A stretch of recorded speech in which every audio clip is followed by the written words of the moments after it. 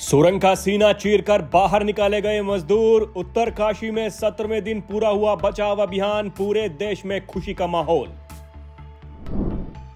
NDRF की team ने मनाया मजदूरों के सफल रेस्क्यू का जश्न। टीम के एक सदस्य का था जन्मदिन, कहा याद रहेगा हमेशा ये दिन। पीएम मोदी ने रेस्क्यू किए गए मजदूरों से की बात, फ़ोन पर बात कर जाना उनका हालचाल। ट्वीट कर कहा, बचाव अभियान की सफलता भावुक करने वाली।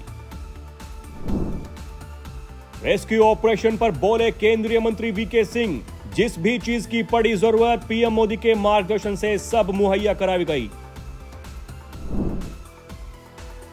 तेलंगाना में चुनाव प्रचार खत्म, सभी दलों ने झोंकी पूरी ताकत 30 नवंबर को होगा मतदान 3 दिसंबर को सभी पाँच राज्यों के आएँगे नतीजे। महाराष्ट्र के सीएम एकनाथ शिंदे पर बरसे उद्धव ठाकरे, कहा महाराष्ट्र में राजा मस्त और प्रजा त्रस्त फ़िल्म अभिनेत्री और पूर्व सांसद जया प्रदा की बढ़ी मुश्किलें, मुरादाबाद कोर्ट ने जारी किया गैर जमानती वारंट, एक केस में गवाही देने नहीं पहुँच रही है कोर्ट।